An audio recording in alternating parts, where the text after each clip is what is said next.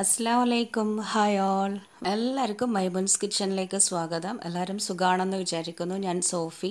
എല്ലാവരും ഇന്ന് ഓണത്തിന്റെ നല്ല തിരക്കിലായിരിക്കും അല്ലേ? എന്നാലും എന്റെ ഈ ചെറിയ വീഡിയോ കാണാൻ ആരും മറക്കരുത്.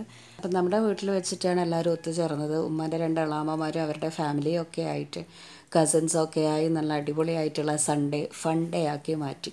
അപ്പോൾ സദ്യക്ക് വേണ്ടിയിട്ടുള്ള ഐറ്റംസൊക്കെ ആദ്യമേ പ്ലാൻ ചെയ്തിട്ടുണ്ടായിരുന്നു. ഓരോരുത്തർ എന്തൊക്കെ ഉണ്ടാക്കുന്നതെന്ന് ചോദിച്ചിട്ട് അങ്ങനെ ഒരു പ്ലാനിങ് ഉണ്ടാക്കി വെച്ചിട്ടുണ്ടായിരുന്നു. എന്നാലും ഒഴിച്ചു കൂട്ടുന്ന കറികളൊക്കെ നമ്മളിവിടെ തന്നെ ഉണ്ടാക്കാമെന്ന് വിചാരിച്ചു. കാരണം രണ്ടാളാമ്മമാരും കുറച്ചൊരു പത്ത് മിനിറ്റിന്റെ ഒരു ട്രാവലുണ്ട് അപ്പോൾ വണ്ടിയിലൊക്കെ വെച്ചിട്ട് സാമ്പാറൊക്കെ ആകുമ്പം കുലുങ്ങി മറിഞ്ഞാലോ എന്ന് വിചാരിച്ചിട്ട് അത് നമ്മൾ തന്നെ ഇവിടെ ഉണ്ടാക്കി. ബാക്കിയുള്ള ടൈറ്റായിട്ട് വരുന്ന സൈഡ് ഡിഷസ് ഒക്കെ ഉണ്ടല്ലോ അതെല്ലാം ഇളാമ്മമാർ ഉണ്ടാക്കി കൊണ്ടുവന്നു. പിന്നെ ഈവനിങ് ഒക്കെ ആയപ്പോൾ പിന്നെ കസിൻസിന്റെ മക്കളും ഒക്കെ കൂടെ ചേർന്നിട്ടൊരു അവർക്കൊരു എന്റർടൈൻമെന്റ് ആവട്ടെ എന്ന് വിചാരിച്ചിട്ട് ചെറിയ ചെറിയ കളികളൊക്കെ പ്ലാൻ ചെയ്തിട്ടുണ്ട്. അങ്ങനെ അവരെ കൊണ്ടും കളിപ്പിച്ചു. പണ്ട് നമ്മൾ സ്കൂളിൽ നിന്നൊക്കെ ഓണത്തിന്റെ സമയത്ത് ഓരോ ഗെയിമൊക്കെ ഉണ്ടായിരുന്നല്ലോ. അത് എല്ലാവരെയും ഉൾപ്പെടുത്തിക്കൊണ്ട് ഉമ്മമാരെയൊക്കെ ഉൾപ്പെടുത്തിക്കൊണ്ട് കളിക്കാൻ അതും ശ്രമിച്ചു. എല്ലാം ഒന്നും വീഡിയോ ഇടാൻ പറ്റിയിട്ടില്ല. എന്തായാലും ഉണ്ടാക്കിയത് എന്തൊക്കെയാണെന്ന് നമുക്ക് നോക്കാം. അപ്പം സദ്യക്കുള്ള ഐറ്റംസ് നമ്മളിവിടെ ഉണ്ടാക്കിയത് ചോറ് ഉണ്ടാക്കിയിട്ടുണ്ട്. പിന്നെ അതുപോലെ സാമ്പാർ സാമ്പാറിന്റെയൊക്കെ ഡീറ്റെയിൽഡ് വീഡിയോ ഞാൻ ഇതിനു മുമ്പ് കാണിച്ചിട്ടുണ്ട്. അതുപോലെ തന്നെ മോര് റെഡിയാക്കി വെച്ചിട്ടുണ്ട്. പാലടയാണ് ഉണ്ടാക്കിയത് പായസം. പാലട അന്ന് ഉണ്ടാക്കിയപ്പോൾ തൊട്ട് പിന്നെ അതിന്റെ ഒരു എഡിക്റ്റ് ആയിപ്പോയി. പിന്നെ രസം ഉണ്ടാക്കിയിട്ടുണ്ട്. മത്തനിട്ടിട്ട് എരിശ്ശേരി ഉണ്ടാക്കിയിട്ടുണ്ട്. പിന്നെ പഴംപുളിശ്ശേരി ഉണ്ടാക്കിയിട്ടുണ്ട്. പിന്നെ അതുപോലെ തന്നെ ശർക്കര ഉപ്പേരിയുമാണ് നമ്മളിവിടെ ഉണ്ടാക്കിയത്. പിന്നെ ഒരാളാമ പച്ചടി കൊണ്ടുവന്നിട്ടുണ്ട്. ബീട്രൂട്ട് ഇട്ടിട്ടാണ് പച്ചടി ഉണ്ടാക്കിയത്. പിന്നെ അവിയലും കൂട്ടുകറിയുമാണ് കൊണ്ടുവന്നത്. അതുപോലെ വേറൊരളാമ കൊണ്ടുവന്നതാണ് ബീട്രൂട്ട് ഈത്തപ്പഴം അച്ചാറും അതുപോലെ കായ വറുത്തതും രണ്ടും വീട്ടിൽ ഉണ്ടാക്കിയതാണ് പിന്നെ ഈ കായന്റെ തോലും ചെറുപയറും ഇട്ടുകൊണ്ടൊരു വറവുണ്ടാക്കിയിട്ടുണ്ട്. ഓലനും ഉണ്ടാക്കിയിട്ടുണ്ട്. ഇത്രയുമാണ് സദ്യയിലുള്ള ഡിഷസ്. അപ്പോൾ ഇതിൽ കുറേയൊക്കെ വീഡിയോസ് ഞാൻ ഇതിനു മുമ്പ് സെപ്പറേറ്റ് ആയിട്ട് കാണിച്ചതാണ്. പിന്നെ തീരെ ഉണ്ടാക്കാത്ത ഒന്നാണ് ശർക്കര ഉപ്പേരി. അത് ഞാൻ ഉണ്ടാക്കിയപ്പോൾ തന്നെ എനിക്ക് ഭയങ്കര ഇഷ്ടമായി അപ്പം ഇതിൽ ഞാൻ ഇൻക്ലൂഡ് ചെയ്തിട്ടുള്ള രണ്ട് റെസിപ്പീസ് പഴമ്പുളിശ്ശേരിന്റെയും ശർക്കര ഉപ്പേരിന്റെതുമാണ്. അപ്പം നമുക്ക് ആദ്യം ശർക്കര ഉപ്പേരി ഉണ്ടാക്കുന്നത് നോക്കാം. ശർക്കര ഉപ്പേരി ബേക്കറിയിൽ വാങ്ങാൻ കിട്ടും. എന്നാലും ഞാനൊന്ന് ഉണ്ടാക്കി നോക്കിയതാണ്. ഇവിടെ പച്ചക്കായ ഉണ്ട് അപ്പം പിന്നെ എന്തായാലും ഒന്ന് ഉണ്ടാക്കി നോക്കാം എന്ന് വിചാരിച്ചു. അങ്ങനെ രണ്ട് മൂന്ന് വീഡിയോസ് കണ്ടിട്ട് എനിക്ക് ആപ്റ്റെന്ന് തോന്നിയ നല്ലൊരു വീഡിയോ നോക്കിയിട്ടാണ് ഞാനിത് ഉണ്ടാക്കിയത്. സദ്യന്റെ ഒരു ഒന്ന് രണ്ട് ദിവസം മുമ്പ് ഉണ്ടാക്കുന്നതായിരിക്കും നല്ലത്. കാരണം ഇതിന്റെ ആ ഒരു എരിവും പുളിപ്പും മധുരവും ഒക്കെ ഒരുമിച്ച് പിടിച്ച് കിട്ടണമെങ്കിൽ കുറച്ച് സമയം എടുക്കും. അത്രയേ ഉള്ളൂ. അപ്പോൾ ഉണ്ടാക്കാൻ ഈസിയാണ്. അപ്പം ഞാനിപ്പോൾ ഇവിടെ രണ്ട് പച്ചക്കായ കൊണ്ടാണ് ഉണ്ടാക്കുന്നത്. ഇതിന്റെ തൊലി ആദ്യം നമ്മൾ കളയണം. ഉള്ളിലുള്ള കായ മുറിഞ്ഞു പോകാണ്ട് വേണം നമ്മൾ തൊലി കളയാൻ. കത്തി കൊണ്ട് ഒന്ന് രണ്ട് കീറിട്ട് കൊടുത്തിട്ട് തൊലി മാത്രം നമുക്ക് അടർത്തിയെടുക്കാൻ പറ്റും. പിന്നെ ഒരു നാക്ക് കിട്ടിക്കഴിഞ്ഞാൽ മൊത്തത്തിൽ അങ്ങ് തൊലി അടർത്തിയെടുക്കാനും പറ്റും. അത്ര എക്സ്പീരിയൻസ് ഒന്നും ഇല്ലാത്തതുകൊണ്ട് കുറച്ചൊന്നും മെനക്കെട്ടു തൊലി കളയാനായിട്ട്. ഒരു നാക്ക് കിട്ടിക്കഴിഞ്ഞാൽ പിന്നെ അത് തനിയെ അങ്ങ് അടർന്ന് വരുന്നുണ്ട് കേട്ടോ. പിന്നെ ഈ തൊലി നമ്മൾ കളയണ്ട. ഇത് വെച്ചിട്ട് നമുക്ക് തോരൻ ഉണ്ടാക്കാം. അപ്പം ഞാനിപ്പോൾ ഇത് സാമ്പാറിൽ ഇടാം എന്നാണ് വിചാരിച്ചത്. കാരണം എന്തായാലും തോരൻ വേറെ ആൾ കൊണ്ടുവരുമ്പം നമ്മളത് വെറുതെ അവിടെ വെച്ചിട്ട് കാര്യമില്ലല്ലോ. അപ്പോൾ അത് അന്ന് തന്നെ ഉണ്ടാക്കണമെങ്കിൽ സാമ്പാറിൽ ഇട്ട് കൊടുക്കുന്നതായിരിക്കും ഏറ്റവും നല്ലത്. അങ്ങനെ ഞാനിപ്പം രണ്ട് കായും തൊലി കളഞ്ഞ് വെച്ചിട്ടുണ്ട്. ആ തൊലി നമുക്ക് മാറ്റി വെക്കാം. നാളെ സാമ്പാർ ഉണ്ടാക്കാനായിട്ട്. ഇനി ഞാനിപ്പോൾ ഒരു നീളമുള്ള പാത്രം എടുത്തിട്ടുണ്ട്. നമ്മുടെ കായ് മുക്കി വെക്കാൻ വേണ്ടിയിട്ടുള്ളതാണ്. അപ്പോൾ അത് കായ് മുങ്ങുന്ന കണക്കിനുള്ള വലിയൊരു പാത്രം എടുക്കണം. അതിലേക്ക് കുറച്ച് മഞ്ഞളും അതുപോലെ തന്നെ ഉപ്പും ഇട്ട് കൊടുക്കാം. എന്നിട്ട് മിക്സാക്കിയ ശേഷം ഈ മഞ്ഞൾ വെള്ളത്തിലേക്ക് ആ കായ അങ്ങ് ഇട്ട് കൊടുക്കാം. ആ കായ മുങ്ങിക്കിടക്കുന്ന വലിപ്പത്തിലുള്ള ഒരു പാത്രം എടുക്കണം. ഇതെന്തിനാന്ന് വെച്ചാൽ പച്ചക്കായിൽ എന്തായാലും ഒരു കറ ഉണ്ടാവും. അപ്പോൾ ആ കറ ഒന്ന് ഒഴിവാക്കാൻ വേണ്ടിയിട്ടാണ് മഞ്ഞളും ഉപ്പും ഇട്ട വെള്ളത്തിൽ അങ്ങനെ അങ്ങ് മുക്കി വെക്കുന്നത്. ഇതൊരു പത്ത് പതിനഞ്ച് മിനിറ്റ് വെച്ചാൽ മതിയാവും. അപ്പോൾ അതവിടെ നിൽക്കട്ടെ. ഈ സമയം ഞാനിപ്പം പഴംപുളിശ്ശേരിക്ക് വേണ്ടിയിട്ടുള്ള നേന്ത്രപ്പഴം അരിഞ്ഞെടുക്കാമെന്ന് വിചാരിച്ചു. എന്റെ അടുത്ത് ഇപ്പം കുറച്ച് പഴുത്ത പഴമാണുള്ളത്. ഒരുപാട് അങ്ങ് പഴുത്ത അലമ്പിയ പഴയല്ല എന്നാലും കുറച്ച് പഴുത്തതാണ്. അപ്പോൾ പഴംപുളിശ്ശേരി എന്ന് പറയുമ്പം കുറച്ച് മധുരം ഉണ്ടാകും അതുപോലെ നല്ലൊരു പുളിപ്പും ഉള്ളൊരു കറിയല്ലേ? അപ്പോൾ പുളിശ്ശേരിക്ക് വേണ്ടിയിട്ട് ഞാൻ തൈര് വാങ്ങിയത് അത്ര പുളിപ്പില്ലാത്ത തൈരാണ് മിൽക്ക് മിസ്റ്റിന്റെ പുളിപ്പില്ലാത്ത തൈരാണ് എനിക്ക് കിട്ടിയത്. അപ്പോൾ അതുകൊണ്ട് ഞാൻ വിചാരിച്ച എന്തായാലും തലേന്ന് രാത്രി തന്നെ ഈ ശർക്കര ഉപ്പേരീന്റെ കൂടെ തന്നെ പുളിശ്ശേരിയും ഉണ്ടാക്കി വെക്കാം. അങ്ങനെ ആകുമ്പോൾ പിറ്റേന്ന് ഉച്ചയാകുമ്പോഴേക്കും നമ്മുടെ ഈ പുളിശ്ശേരി നല്ലൊരു പുളിയൊക്കെ ഉണ്ടാവുമല്ലോ എന്ന് വിചാരിച്ചിട്ടാണ് പഴമൊക്കെ ഞാൻ ഇങ്ങനെ കട്ട് ചെയ്ത് വെച്ചത്.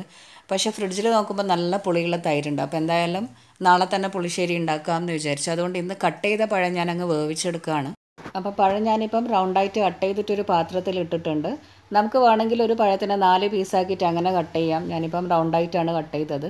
ഇനി ഇതിലേക്ക് ഒരു അര ടീസ്പൂൺ മഞ്ഞൾപ്പൊടിയും അര ടീസ്പൂൺ മുളക് പൊടിയും ആവശ്യത്തിനുള്ള ഉപ്പും ഒരു ഗ്ലാസ് വെള്ളം ഒഴിച്ചു കൊടുക്കാം. നന്നായിട്ട് മിക്സാക്കിയ ശേഷം ഇതൊന്ന് അടുപ്പിൽ വെച്ചിട്ട് വേവിച്ചെടുക്കാം. അപ്പോൾ പഴം വേവാൻ ഒരുപാട് സമയമൊന്നും വേണ്ട. കുറഞ്ഞതൊരു പത്ത് മിനിറ്റ് മതിയാവും. മീഡിയം ഹൈ ഫ്ലെയിമിലാണ് ഞാനിപ്പം വെച്ചത്. അതിനെ ഒന്ന് അങ്ങ് വെന്തിട്ട് നന്നായിട്ട് വറ്റി വരട്ടെ അപ്പോഴേക്ക് ഒരു പതിനഞ്ച് മിനിറ്റ് ഒക്കെ കഴിഞ്ഞിട്ടുണ്ട്. ശർക്കര ഉപ്പേരിക്ക് വേണ്ടിയിട്ട് കായ് ഞാനിപ്പോൾ മഞ്ഞൾ വെള്ളത്തിൽ വെച്ചിട്ട് കുറച്ച് സമയമൊക്കെ ആയി. എന്തായാലും അത് നന്നായിട്ടൊന്നങ്ങ് വാഷ് ചെയ്തെടുക്കാം. ഇതിപ്പോൾ ആ വെള്ളത്തിൽ വെച്ച് തന്നെ നന്നായിട്ടൊന്നങ്ങ് കൈ കൊണ്ട് ഉരച്ചെടുക്കാം അപ്പോൾ അതിലുള്ള ആ നൂറും അതുപോലെ എന്തെങ്കിലും തൊലിയൊക്കെ ഉണ്ടെങ്കിൽ അതും അങ്ങ് പോയി കിട്ടും. അപ്പം ഞാനിപ്പോൾ ഇത് നന്നായിട്ടൊരു സ്ക്രബൊക്കെ യൂസ് ചെയ്തിട്ടൊന്ന് നന്നായി ഉരച്ചെടുത്തിട്ടുണ്ട് ഇതിലുള്ള ഏകദേശം തൊലിയൊക്കെ അടന്ന് വന്നിട്ടുണ്ട്. പിന്നെ അതുപോലെ നൂറൊക്കെ ഇളകിയിട്ടുണ്ട്. ഇനി ഇതൊന്ന് നന്നായിട്ട് വാഷ് ചെയ്തെടുക്കാം. അപ്പം ഞാനിപ്പോൾ ഇത് നന്നായി കഴുകി എടുത്തിട്ടുണ്ട്. ഇനി ഇതിപ്പോൾ എന്താ ചെയ്യേണ്ടതെന്ന് വെച്ചാൽ ഒന്ന് നന്നായിട്ട് ഒരു കിച്ചൺ ടവലിലോ അല്ലെങ്കിൽ ഒരു ടിഷ്യൂ പേപ്പറിലോ വെച്ചിട്ട് നന്നായിട്ട് വെള്ളമൊക്കെ ഒന്ന് തുടച്ചെടുക്കണം. അങ്ങനെ ഞാനിപ്പം കായ് നന്നായി തുടച്ചെടുത്ത് വെച്ചിട്ടുണ്ട്. നല്ല ഡ്രൈ ആയിട്ടുണ്ട്. ഇനി നമുക്കിത് നീളത്തിൽ കട്ട് ചെയ്തെടുക്കാം. അപ്പോൾ ഇനി എന്താ ചെയ്യേണ്ടതെന്ന് വെച്ചാൽ ഒരു കായിനെ രണ്ടായിട്ട് ഇങ്ങനെ നീളത്തിൽ കട്ട് ചെയ്തെടുക്കാം.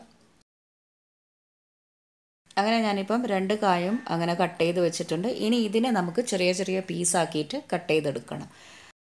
അപ്പം ഞാനിപ്പോൾ ഒരു കട്ടിംഗ് ബോർഡിൽ വെച്ചിട്ട് ഇതേപോലെ ചെറിയ ചെറിയ പീസാക്കി കട്ട് ചെയ്തെടുക്കുകയാണ്. പിന്നെ കായ് ഒരേ അളവിൽ തന്നെ കട്ട് ചെയ്യാൻ ശ്രദ്ധിക്കണം. അതാവുമ്പം നമ്മൾ എണ്ണയിലിട്ട് പൊരിച്ചെടുക്കുമ്പം ഇവല്ലി എല്ലാം ഒരേപോലെ തന്നെ അങ്ങ് ഫ്രൈ ആയി വന്നോളും. അതല്ലെങ്കിൽ ചിലപ്പം ചെറുതും വലുതും ഒക്കെ ആക്കിയിട്ടാണ് കട്ട് ചെയ്യുന്നതെങ്കിൽ എണ്ണയിൽ ഒരുമിച്ച് അങ്ങ് ഇട്ട് കൊടുക്കുമ്പം ചെറിയ സൈസൊക്കെ ആദ്യമേ അങ്ങ് പൊരിയും. വലിയ സൈസ് പൊരിയാനും കുറച്ച് സമയമെടുക്കും അപ്പോൾ അങ്ങനെയുള്ള ചെറിയ ചെറിയ പ്രശ്നങ്ങളൊക്കെ വരും. അപ്പോൾ അതുകൊണ്ട് എല്ലാം ഒരേപോലെ സൈസാക്കി കട്ട് ചെയ്യാൻ ശ്രദ്ധിച്ചാൽ മതി. ഞാനിപ്പം ഈ ഒരു സൈസിലാണ് കട്ട് ചെയ്തെടുക്കുന്നത്. ഇതേപോലെ തന്നെ ബാക്കിയുള്ള എല്ലാം കട്ട് ചെയ്തെടുത്ത് വെക്കാം.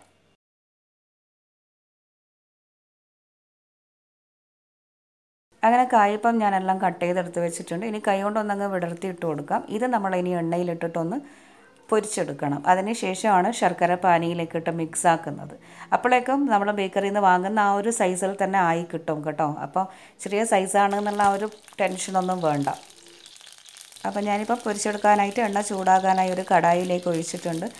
എണ്ണ ഒരുപാടങ്ങ് ഹൈ ഫ്ലെയിമിൽ അങ്ങ് ഇട്ടിട്ട് നല്ല ചൂടായി പോകണമെന്നില്ല. ഒരു മീഡിയം ചൂടായി എന്ന് നമുക്ക് തോന്നുമ്പം അതിലേക്ക് അതിലേക്ക് ഈ അരിഞ്ഞു വെച്ചിട്ടുള്ള കായ കുറച്ച് കുറച്ചായിട്ട് ഇട്ടിട്ട് അങ്ങ് പൊരിച്ചെടുക്കാം. ഒരുമിച്ച് ഞാനിപ്പോൾ ഇടുന്നില്ല. ഒരു രണ്ട് മൂന്ന് ബാച്ച് ആക്കിയിട്ടാണ് ഫ്രൈ ചെയ്തെടുക്കുന്നത്.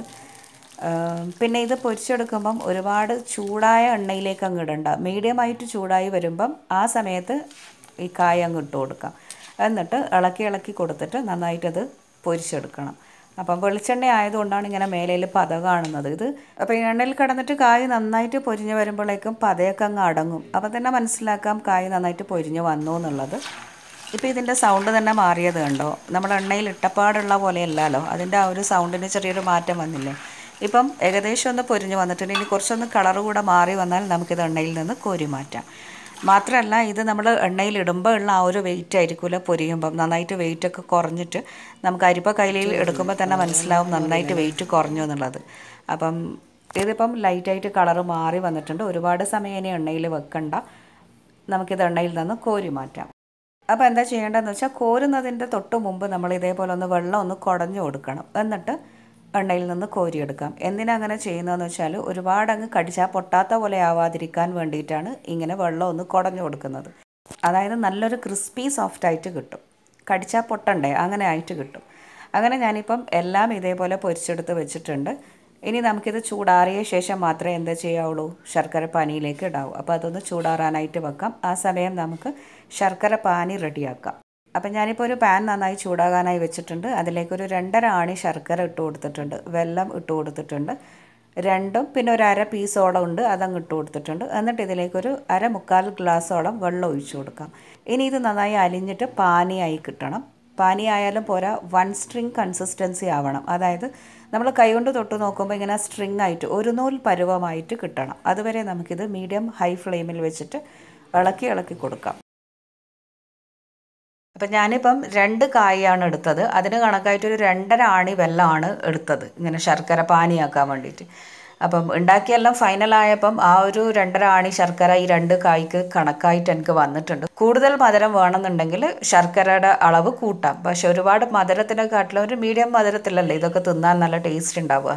ഇതിപ്പോൾ ഒരു മീഡിയം ലോ ഫ്ലെയിമിലാണ് ഞാൻ വെച്ചിട്ടുള്ളത്. ഇങ്ങനെ ഒരു അഞ്ചെട്ട് മിനിറ്റോളം ഏകദേശം ഇളക്കി കൊടുത്തിട്ടുണ്ടാവും. പാനി ഇപ്പം വൺ സ്ട്രിങ് കൺസിസ്റ്റൻസി അതായത് നമ്മൾ കൈകൊണ്ട് തൊട്ട് നോക്കുമ്പോൾ ഇങ്ങനെ നൂൽ പോലെ വരുന്നുണ്ട്. അപ്പോൾ അങ്ങനെ വന്നിട്ടുണ്ട്. ഇനിയിപ്പം തീ നന്നായിട്ട് കുറച്ച് വെക്കാം ലോ ആക്കി വെക്കാം. എന്നിട്ട് ഇതിലേക്ക് നന്നായിട്ട് ചൂടാറിയിട്ടുള്ള ആ കായുപ്പേരി അങ്ങ് ഇട്ട് കൊടുക്കാം. എന്നിട്ട് ഈ ശർക്കരയിൽ നന്നായിട്ട് അങ്ങ് മിക്സ് ആക്കി എടുക്കാം. ഇനി ഇതിന്റെ കൂടെ കുറച്ച് കാര്യങ്ങളും കൂടെ ചേർത്ത് കൊടുക്കാനുണ്ട്. അതെന്തൊക്കെയാണെന്ന് വെച്ചാൽ ഇത് കുറച്ച് പൊടികളാണ്. എന്തൊക്കെയാണെന്ന് വെച്ചാൽ ഒരു ടേബിൾ സ്പൂൺ ചുക്കുപൊടി ഒരു ടേബിൾ സ്പൂൺ ചെറിയ ജീരകം പൊടിച്ചത് ഒരു ടേബിൾ സ്പൂൺ ഏലക്ക പൊടിച്ചത്. ഇത് മൂന്നും കൂടെ ഓരോ ടേബിൾ സ്പൂൺ വീതം എടുത്തിട്ട് നന്നായിട്ട് മിക്സാക്കി എടുക്കണം. എന്നിട്ട് അത് നമ്മൾ ഇതിലേക്ക് ഇട്ട് കൊടുക്കണം. ഇട്ട് കൊടുക്കുമ്പം ഒരുമിച്ചിട്ട് അങ്ങ് ഇട്ട് കൊടുക്കരുത്. കാരണം അതിന്റെ എരിവും ആ ഒരു ഇതൊക്കെ കൂടിപ്പോയാലോ. അപ്പോൾ അതുകൊണ്ട് നോക്കി നോക്കിയിട്ട് വേണം നമ്മൾ ഇതിലേക്ക് ഇട്ട് കൊടുക്കാൻ. അപ്പം ഞാനിപ്പോൾ ആദ്യം ഒരു ടീസ്പൂൺ ഇട്ട് കൊടുത്തിട്ടുണ്ട്. എന്നിട്ട് നന്നായിട്ട് അങ്ങ് മിക്സ് ആക്കി എടുക്കാം അപ്പോൾ ഇനി ഇത് കായ് ഇട്ട് കൊടുത്ത് കഴിഞ്ഞാൽ കൈവക്കാണ്ട് ഇളക്കി കൊടുത്തുകൊണ്ടിരിക്കണം ശർക്കര പിന്നെ ചൂടാക്കാണ്ട് അങ്ങനെ വെച്ച് കഴിഞ്ഞാൽ അത് പിന്നെ അവിടെ ഇവിടെയായിട്ട് കട്ടയായി പോകുന്നല്ലാണ്ട് കായിൽ പിടിച്ച് കിട്ടൂല. അപ്പോൾ അതുകൊണ്ട് ലോ ഫ്ലെയിമിൽ വെച്ചിട്ട് നന്നായിട്ട് അങ്ങ് ഇളക്കി കൊടുക്കാം. എന്നിട്ട് ഇത് ഡ്രൈ ആക്കി എടുക്കണം. അപ്പോൾ അതിനിടക്ക് നമുക്ക് ഇത് പൊടികൾ പോരാന്ന് തോന്നുമ്പം കുറച്ച് കുറച്ചായിട്ട് അങ്ങ് ചേർത്ത് കൊടുക്കാം. ഞാനിപ്പം പിന്നെയും ഒരു ടീസ്പൂൺ അങ്ങ് ചേർത്ത് കൊടുത്തിട്ടുണ്ട്. എന്നിട്ട് നന്നായി മിക്സ് ആക്കിയിട്ട് ഫ്ലെയിം ഓഫ് ചെയ്തിട്ടുണ്ട്. കാരണം ശർക്കര ഒരുപാട് അങ്ങ് പാനി കൂടുതലായി കഴിഞ്ഞാൽ അതിനൊരു കയ്പടിക്കും അപ്പോൾ കയ്പടിക്കാൻ പാടില്ലല്ലോ. നമുക്ക് ആ ഒരു എരിവും മധുരവും പുളിയും ഒക്കെയല്ലേ വേണ്ടത്? അപ്പം ഇനിയിപ്പോൾ ഇതിലേക്ക് ചേർത്ത് കൊടുക്കേണ്ടത് കുറച്ച് പഞ്ചസാര പൊടിയാണ്. നന്നായിട്ട് പൊടിച്ചെടുക്കാം. എന്നിട്ട് അത് കുറച്ച് കുറച്ചായിട്ട് ചേർത്ത് കൊടുക്കാം. ഞാനിപ്പോൾ ഒരു രണ്ട് ടീസ്പൂൺ ചേർത്തിട്ടുണ്ട്. പോരാന്ന് തോന്നുവാണെങ്കിൽ കുറച്ച് പിന്നെ ചേർത്ത് കൊടുക്കാം. അപ്പം രണ്ട് ടീസ്പൂൺ പഞ്ചസാര പൊടി ചേർത്തിട്ടുണ്ട്. എന്നിട്ട് ഇത് നന്നായിട്ടൊന്നങ്ങ് ഇളക്കി കൊടുക്കാം. ഇനിയിപ്പോൾ ഇതിലേക്ക് കുറച്ചുകൂടെ ഞാൻ ആ ചുക്കിന്റെ ആ ഒരു പൊടി മിക്സ് ഉണ്ടല്ലോ അതങ്ങ് ചേർത്ത് കൊടുക്കുന്നുണ്ട്. ഒരു ടീസ്പൂൺ പിന്നെയും ചേർത്ത് കൊടുത്തിട്ടുണ്ട്. എന്നിട്ട് ഇത് നന്നായിട്ടൊന്ന് അങ്ങ് മിക്സ് ആക്കി എടുക്കാം ഇതിപ്പോൾ ഏകദേശം ഒന്ന് ഡ്രൈ ആയിട്ടുണ്ട്. ഒന്നുകൂടെ ഇനി വെള്ളം വറ്റേണ്ട പണി മാത്രമേ ഉള്ളൂ. ബാക്കിയുള്ളതൊക്കെ കാര്യങ്ങൾ റെഡി ആയിട്ടുണ്ട്. അപ്പം വെള്ളത്തിലുള്ള ആ ഒരു വെള്ളം കുറച്ചുകൂടെ ഒന്ന് വറ്റിയിട്ട് എല്ലാത്തിലും ഒന്ന് പിടിച്ച് കിട്ടുന്നതിനായിട്ട് നമുക്ക് എന്ത് ചെയ്യാം? ഒരു ടീസ്പൂൺ അരിപ്പൊടി ചേർത്ത് കൊടുക്കാം. അപ്പോൾ അരിപ്പൊടി ഞാനിപ്പം പച്ചരിയാണ് ഇവിടെ ചേർത്തത്. വറുക്കാത്ത പച്ചരിയാണ് കേട്ടോ പൊടിപ്പിച്ചത്. അപ്പോൾ അതങ്ങ് ചേർത്ത് കൊടുക്കാം. എന്നിട്ട് നന്നായിട്ടൊന്നങ്ങ് മിക്സ് ആക്കി എടുക്കാം അപ്പം ഇത് മിക്സ് ആക്കുമ്പം ഇപ്പോഴാണ് ഒരു പണി വരാൻ. കാരണം ഇത് സൈഡിൽ ആ പാനിന്റെ സൈഡിലൊക്കെ അങ്ങനെ അങ്ങ് ശർക്കര പറ്റി പിടിച്ചിട്ടുണ്ട് അതൊക്കെ നന്നായിട്ട് വടിച്ചെടുക്കുക. എന്നിട്ട് ഈ കായിലേക്ക് അങ്ങ് മിക്സ് ആക്കി കൊടുക്കണം. അപ്പോൾ കായകൾ ഏതെങ്കിലും അങ്ങനെ അങ്ങ് ഒട്ടിപ്പിടിച്ച് നിൽക്കുന്നുണ്ടെങ്കിൽ അതൊന്ന് സെപ്പറേറ്റ് ആക്കി കൊടുത്തിട്ട് മിക്സ് ആക്കി എടുക്കാം. അപ്പം ഇതിപ്പം നന്നായിട്ട് ഡ്രൈ ആയിട്ടുണ്ട്.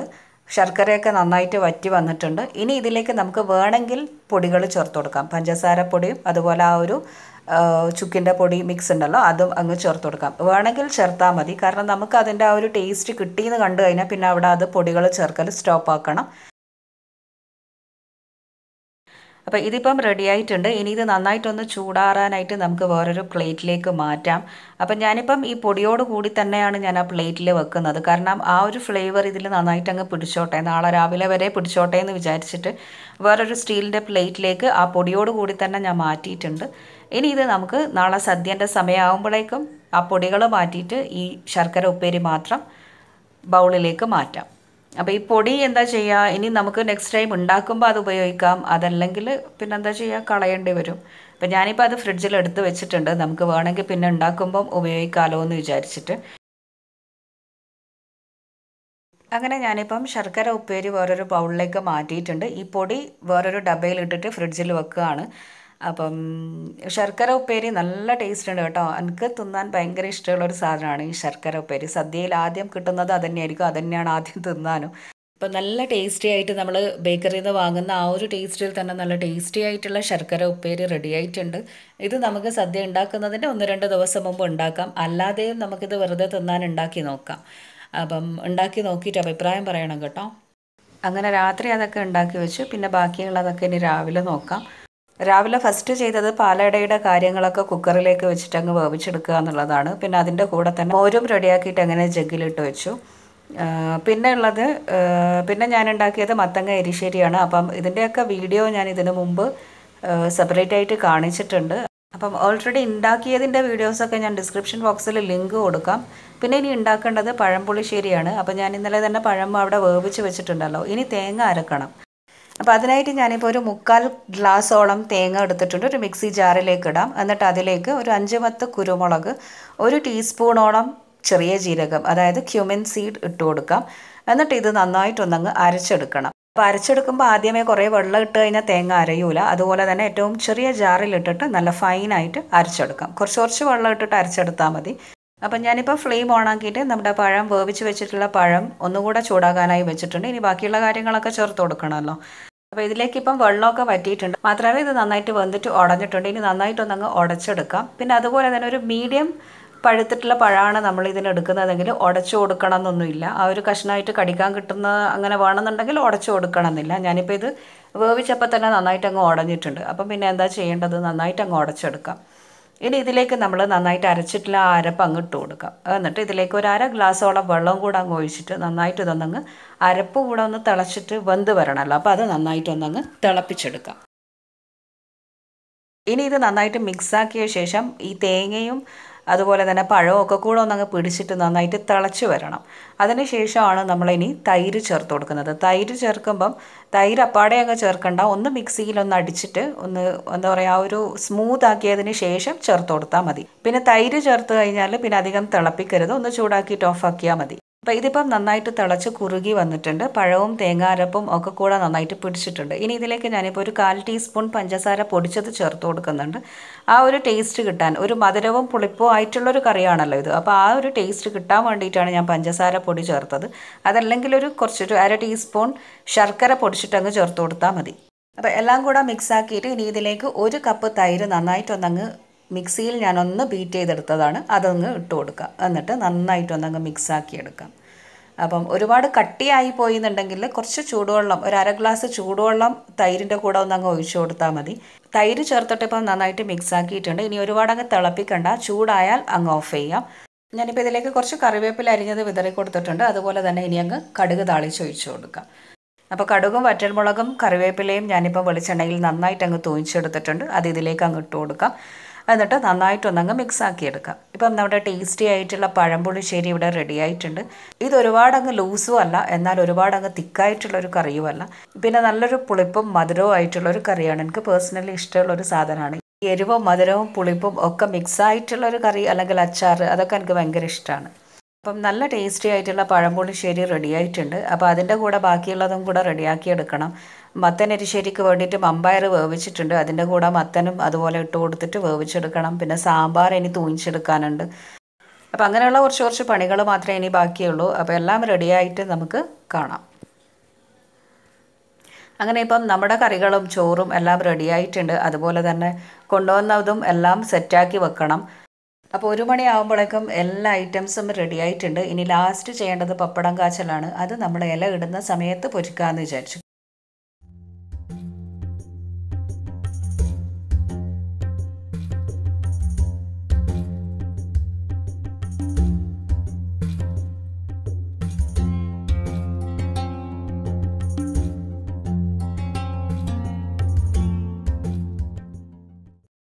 അപ്പോൾ എല്ലാവരും ഒരുമിച്ച് തന്നെയാണ് ഭക്ഷണം കഴിക്കാനിരിക്കുന്നത്. അപ്പോൾ പിന്നെ എല്ലാം ഹാളിലേക്ക് കൊണ്ടുവന്നിട്ട് അങ്ങനെ സെറ്റ് ചെയ്ത് വെച്ചിട്ട് പിന്നെ അത് ഓരോന്നും ഇലയിലേക്ക് ഇട്ട് കൊടുക്കാമെന്ന് വിചാരിച്ചിട്ട് അങ്ങനെ എല്ലാം എടുത്തു കൊണ്ടുവന്ന് ഇനി ഓരോന്നും നമുക്ക് ഇലയിലേക്ക് ഇട്ട് വെക്കാം.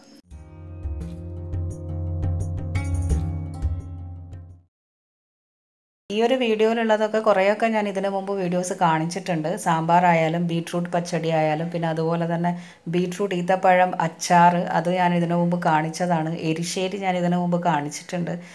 പിന്നെ അവിയൽ കൂട്ടുകറി ഒക്കെ ഞാൻ ഇതിൽ മുമ്പ് വീഡിയോസ് ഓരോന്നായിട്ട് കാണിച്ചതാണ്. പാലട കാണിച്ചിട്ടുണ്ട്. അപ്പം അതിന്റെയൊക്കെ ലിങ്ക് ഞാൻ ഡിസ്ക്രിപ്ഷൻ ബോക്സിൽ കൊടുക്കാം. എല്ലാവരും വീഡിയോസ് കാണണം. അപ്പം ഈ ഒരു ഓണം സ്പെഷ്യൽ വ്ളോഗ് എല്ലാവരും വീഡിയോ കാണുമെന്ന് വിചാരിക്കുന്നു. കണ്ടിട്ട് ഇഷ്ടമായാൽ ലൈക്ക് ചെയ്യാനും ഷെയർ ചെയ്യാനും ഒന്നും നിങ്ങൾ മറക്കരുത്.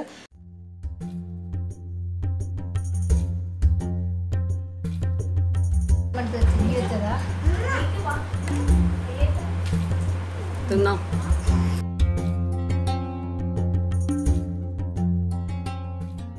അങ്ങനെ സദ്യയൊക്കെ കഴിഞ്ഞിട്ട് ഇങ്ങനെ ഇരിക്കുമ്പോൾ പിന്നെ ഇളാമ കൊണ്ടുവന്ന ട്രൈ കളേർഡ് ബർഫി ഉണ്ട്. അപ്പോൾ അത് ഓരോരുത്തർക്കും ഇങ്ങനെ കട്ട് ചെയ്തിട്ട് കൊടുക്കുകയാണ്. അങ്ങനെ അത് കഴിഞ്ഞു. പിന്നെ പിള്ളേരുടെ കുറച്ച് എന്റർടൈൻമെന്റ് ആണ്. ഈ കസേര കളി അതുപോലെ ലെമൺ സ്പൂൺ അവർ കുറച്ച് എന്റർടൈൻമെന്റ് ആവട്ടെ എന്ന് വിചാരിച്ചിട്ട് അങ്ങനെ അങ്ങ് കളിച്ചു. എളാമന്റെ ആപ്പയാണിത്. അപ്പോൾ പിള്ളേരുടെ കൂടെ കുട്ടികളുടെ കൂടെ അവരും കൂടി അങ്ങനെ അങ്ങ് നല്ല എൻജോയ് ചെയ്തു. നല്ല ഫൺ ഡേ ആയിരുന്നു സൺഡേ അപ്പം വീഡിയോ കണ്ടിട്ട് ഇഷ്ടമായാൽ എല്ലാവരും ലൈക്ക് ചെയ്യാൻ മറക്കരുത് കേട്ടോ. അപ്പോൾ ഇനി അടുത്തൊരു റെസിപ്പി വ്ളോഗുമായിട്ട് നമുക്ക് വീണ്ടും കാണാം. Till then take care and bye from Maimans kitchen thank you